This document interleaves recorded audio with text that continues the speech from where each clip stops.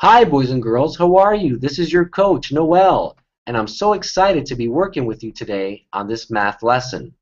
Parents, I want to welcome you. Boys and girls, let's go ahead and get started, okay? Because we have quite a bit to cover today. So what we're going to be talking about right now is division, okay? So let's go ahead and let's work on dividing by 2. We're going to divide by 2, okay? So let's get started. 2 divided by 2 equals 1. 4 divided by 2 equals 2. 6 divided by 2 equals 3.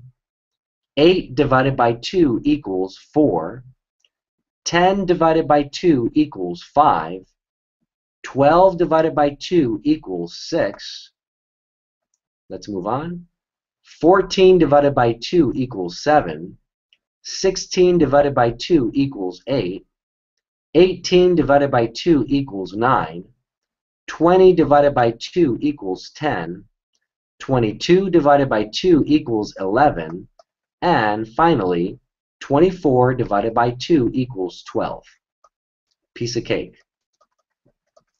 What I want you to take notice of, and I just want you to just kind of take notice of, I just, I'm just going to show you, if I go backwards, okay, the opposite operation of division is multiplication. So I can go backwards and watch. 1 times 2 equals 2. 2, let me go ahead and highlight that. 2 times 2 equals 4. 3 times 2 equals 6. 4 times 2 equals 8. 5 times 2 equals 10. 6 times 2 equals 12, and so forth, okay, and so on.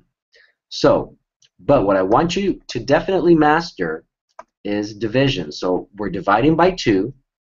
So let's get started again. Ready? 2 divided by 2 equals 1.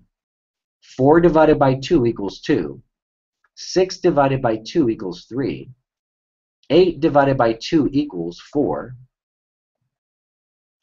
10 divided by 2 equals 5. 12 divided by 2 equals 6. 14 divided by 2 equals 7.